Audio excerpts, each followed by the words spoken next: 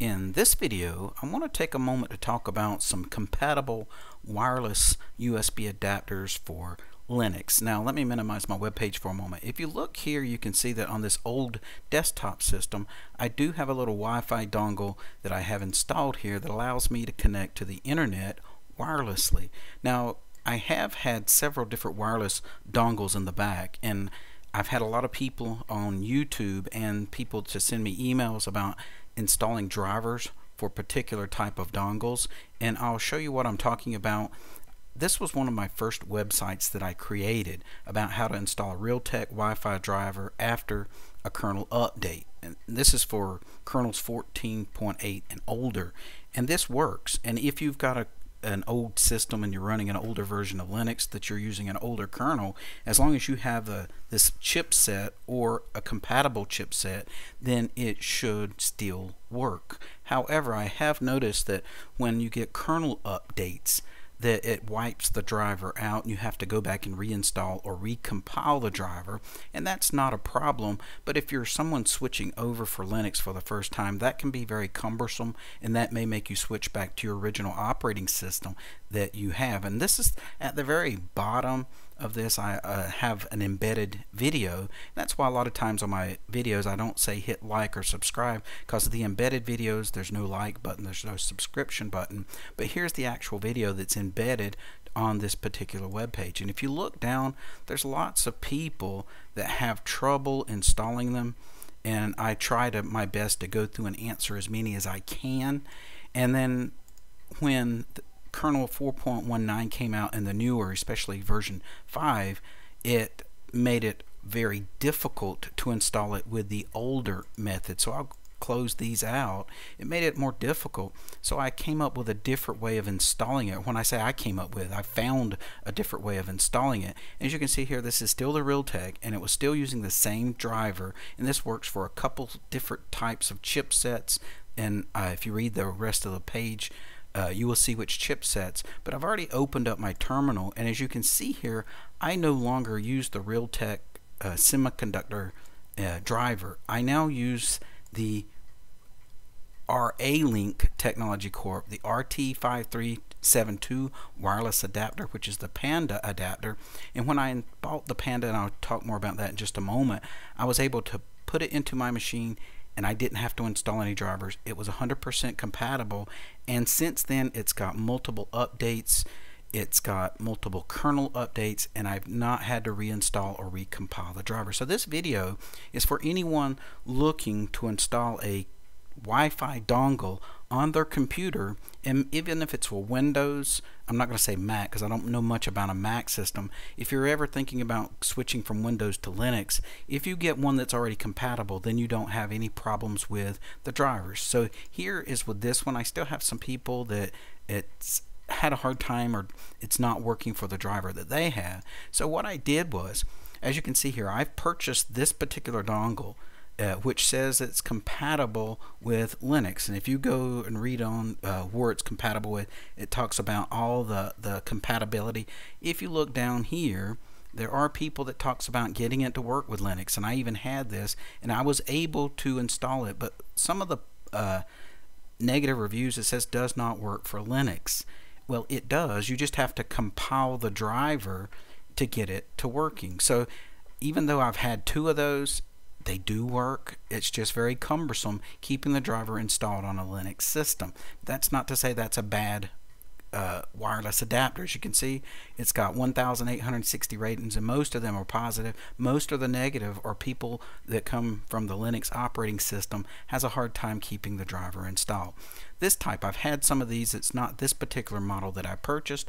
I like the way that TP-Link advertises their Linux. They tell you that it will work with Linux kernel 2.6.18 all the way to 4.43. So when you get to kernel 5, they're not guaranteed that this product will work, or they may have to install the driver as you would some of the other type of wireless dongles.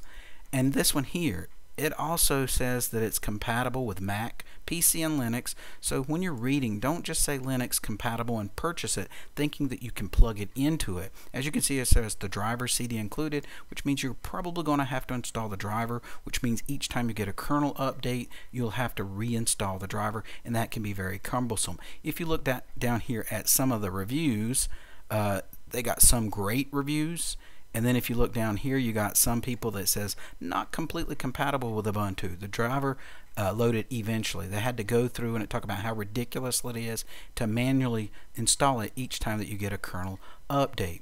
So that's a problem that a lot of people are, are having in the Linux community. Here's where the It's FOSS community, someone said need help finding a decent Linux compatible USB Wi-Fi device. There's a lot of people recommending different products, and as you can see here, some products that are here, they tell you how to install the drivers, but a lot of times when you're installing the drivers, more than likely after the kernel update, you're going to continue to install the drivers. So I've put together a list of Wi-Fi dongles that I personally have experience with or through a relative or friend and they give me feedback. And those are the two links where I showed you how to install the wireless driver for the Wi-Fi dongles that I currently were using. As you can see here, here's another article and there's multiple articles like this. An update killed my USB Wi-Fi adapter, the RTL 8821AU. You know, that's a great chipset. Uh, that's a great wireless dongle. It's just with Linux, an update killed it where they had to reinstall the driver. And here, I like learn, reading a lot of articles from Learning Penguin. If you look at this, it says solved how to install the Realtek RT812AU Wi-Fi driver. It's been edited and modified multiple times. As you can see here, they keep modifying. As the kernels update, it kind of changes the way that you install the driver. Then you have a lot of people, some it works, some it doesn't, some it works at a particular time, some that it doesn't. So when you're working with Wi-Fi drivers where you have to keep installing those, then it gets very cumbersome. That's not to say that the ones that I'm going to recommend when there's a future kernel update, these may become the same way. I can only speak from when I've purchased it, when I put it in my machine up to this particular moment. And as you can see here, I am currently using Ubuntu 18.04 uh, for the long-term support on this desktop system. And the dongle that I have in this system is this Panda, the, the 06 300 megabytes per second wireless USB, the N USB adapter. I purchased this from Amazon on March the 19th of 2018. And when it come, I took out my older Wi-Fi dongle, plugged this one in. It immediately started working. And I'm not getting any kickback from Amazon or from Panda. You know, I purchased this myself and stuck it in there. So this is no advertisement. This is just me showing you what worked with my system. So I immediately plugged it in and I've got multiple updates and I probably didn't have uh, 18.04.4. I probably had 18.04, but it might have been at 0.1 or 0.2. So it's been updated and it's got multiple kernel updates, and I never had to reinstall the driver, and it works good. You know, it may not be at the full bars right now, but it does usually get there. It's because I'm on one side of the house, the router is on the other side through an exterior wall, so it's pretty strong signal compared to how far away I am from the wireless router. Now on my laptop, I wrote, I used to have a dongle that I had to install the driver each time the kernel was updated. I purchased this on October the 12th, 2019, which is not that long ago, but it has gotten kernel updates as well, and I've never had to reinstall the driver. So with my experience with this, the Panda Ultra uh, 150 megabits per second, uh, this particular model, the PAU03, it works great and I did not have to install a driver.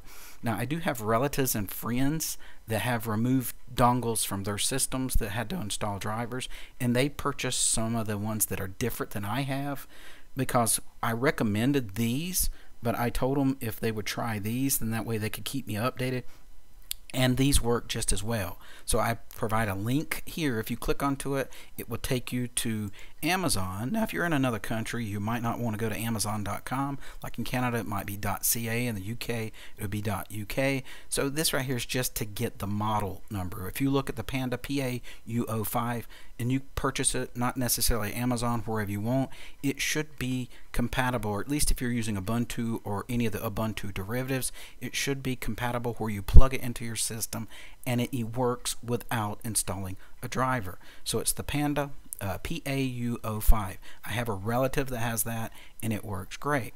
I also have a fr two different friends that have these particular models and they work great. One of my friends was looking for an extended range. So when I offered them to get this one and this one, I told them that the range that I have within my house, which they have a bigger house, so and they had upstairs, so they purchased this particular model, the PAU09, it supports both the 2.4 gigahertz and the 5 gigahertz, and it has a very long range uh, within their house. And it was immediately plug and play compatible. They put it in their system and it started working. So each of these that you see on my web page are compatible with the Ubuntu and the Ubuntu derivatives. Now, if you're looking for additional information about compatible USB wireless adapters, I do have some additional information.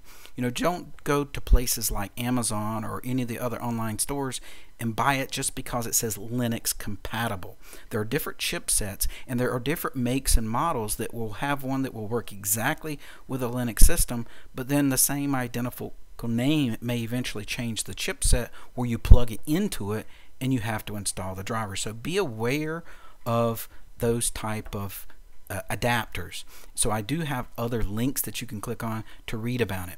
Now at, down here at the bottom, as you can see I've purchased three of these different type of uh, wireless adapters. They're plug and play. When I say wireless, they, you do plug a wire into your modem, into the TP-Link.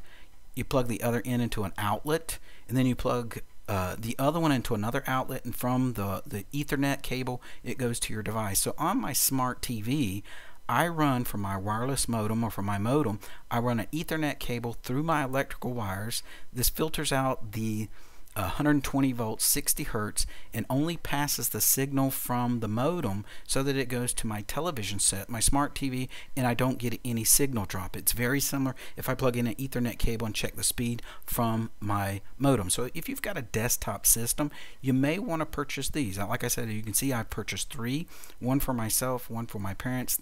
One time a set got hit by lightning and I had to replace it so I purchased three of these and they work great. Now I'm not advertising this particular product product, you can buy a different product. Just make sure that they're the, the power line Ethernet adapters that allows you to use your power wires as your conductors for your internet and you will get amazing speed. Like I said, I recommend this for desktop systems that are setting still. Wi-Fi's, you know, these are these are not Wi-Fi adapters. These are the Wi-Fi adapters up here. So if you're thinking about switching to Linux, make sure that if you're using an, a USB adapter, a little Wi-Fi dongle, that your dongle is supporting Linux. If not, you may want to take a few moments and order one or buy one that's compatible with your system to prevent the headaches from reinstalling the Wi-Fi driver each time that you get a kernel update. So this is not really a software review. This is more of a hardware review for those of you that are new to Linux or have been using Linux and have just gotten frustrated of constantly having to reinstall your Wi-Fi driver for your USB adapter. So hopefully this video has been helpful to you and have a great day.